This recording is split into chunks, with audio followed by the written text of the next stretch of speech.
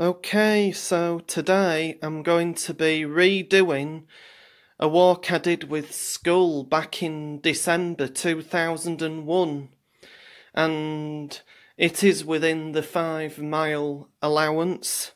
So yeah let's go to Hackness and let's begin the walk. This hill here the first bit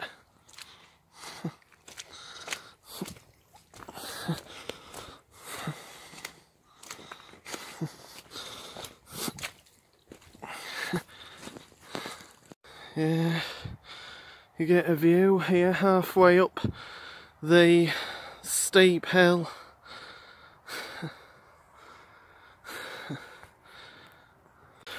yeah, so still climbing up the hill. You can see some flooded fields down there.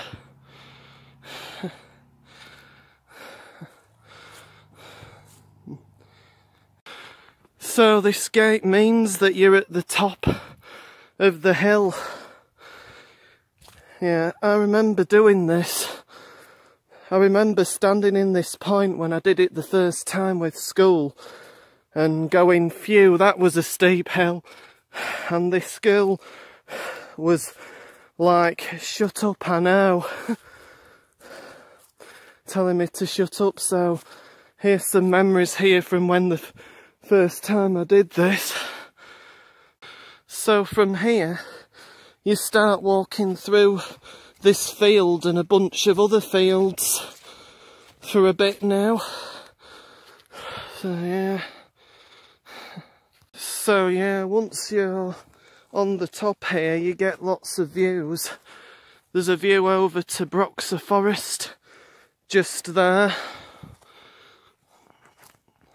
Okay, so the track goes that way, but we keep next to the bush here because, yeah, I've done this walk a few times since I did it with school in December 2001, and I sort of know where it does go.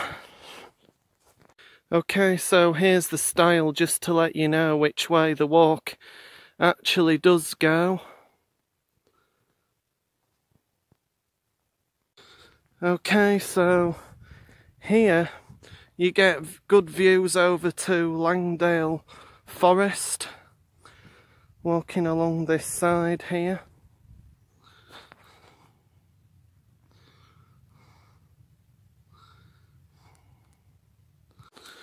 So yeah, through another field.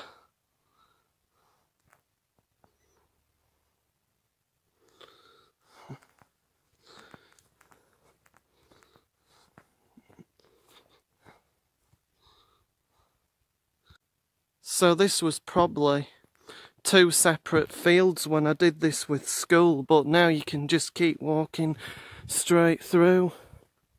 And yeah, I think this is where you turn off, if I'm not mistaken. This is probably where you turn off now. Right here.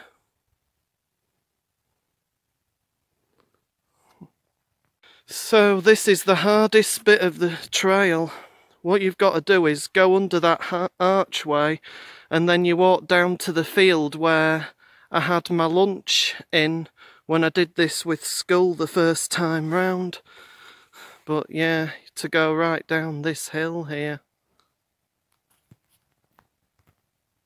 This just shows you how intense the walk actually becomes.